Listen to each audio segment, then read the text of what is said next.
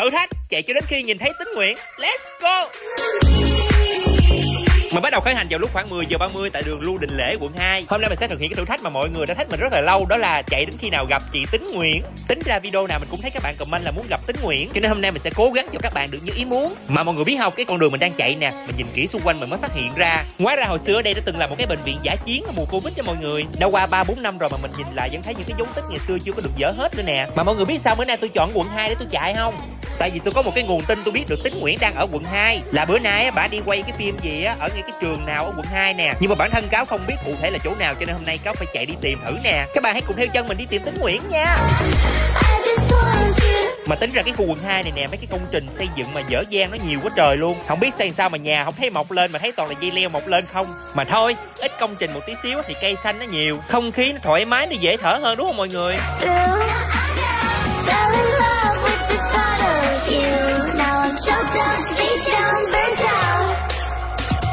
Trước mắt các bạn là trường tiểu học Nguyễn Hiền quận 2 Không biết đã có ai từng học ở đây chưa ta? Hmm, Thấy trường đóng cửa im liềm vậy chắc là tính Nguyễn không có ở đây đâu ha. Mà hỏi thiệt nha mọi người thích bạn tính Nguyễn từ hồi nào vậy? Tôi hồi đó lần đầu biết tính là qua mấy cái video mà quay chung với lại Khiết Đan á. Thì cái lần đầu tiên coi thì tôi đã thấy là tính diễn rất là hay và rất là có duyên luôn. Nó không phải là cái duyên bình thường mà kiểu là cái duyên hài mà nó từ trong máu nó ra mọi người. Sau này thì tôi có nghe được mọi người kể thì tính đã rất là cố gắng để đi học diễn và học rất là nhiều thứ để trao dồi bản thân mình. Mà trùng hợp cái là hôm bữa cáo cũng có đăng ký một khóa học diễn xuất nữa. Thì vô tình được biết là cáo học chung trường với là chị Tính Nguyễn hồi xưa đã học chung luôn đó.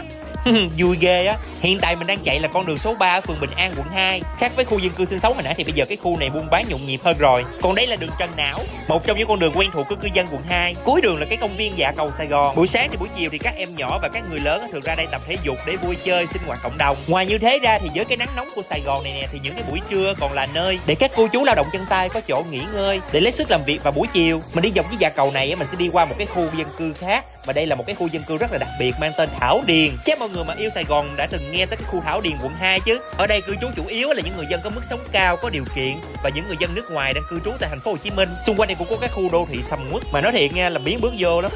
Và cũng đặc thù á, cái khu quận 2 này rất là nhiều những người nước ngoài sinh sống, cho nên biển hiệu ở đây á, mọi người sẽ thấy là cái chữ nước ngoài gần như nó chiếm trọn biển hiệu hết trơn luôn. Tôi mà dẫn má tôi lên đây đi chợ, chắc má tôi la làng luôn á.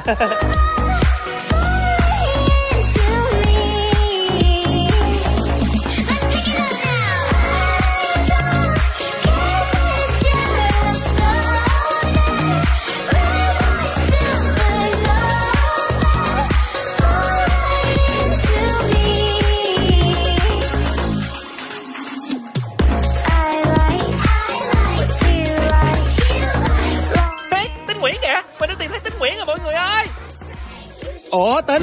Phải tính không tính? Đâu vậy? Trời tôi đi kiếm bạn đi kiếm tôi chi mấy bạn thử thách tôi quá trời luôn kêu là đi tìm tính nguyễn. À ờ. Trời ơi trời. Hôm qua là tôi nghe ông chân nó kêu là bà đang quay ở đâu là bữa nay quay đâu bên trường nào bên uh, quận 2 chạy nãy giờ tới cái trường này mới thấy nè.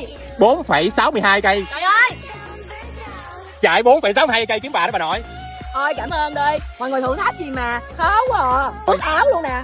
Ướt áo luôn nè. Chạy ướt áo luôn nè thấy không? Đang quay phim gì hả đang quay một vài cái uh, phim ngắn nhỏ nhỏ nhỏ nhỏ học đường ở trên kênh tôi hay đăng đó. Thanh xuân vườn trường. Mọi người ơi nhớ xem phim học đường của mình nha mình khang tiếng luôn rồi quay sáng giờ khang tiếng luôn á mọi người. Rồi đó bây giờ là kiếm được tính rồi đó. Bây giờ còn thử thách nào thách tôi luôn đi nha. Nhớ đón coi mấy cái video của tính đó nha. Cảm ơn mọi người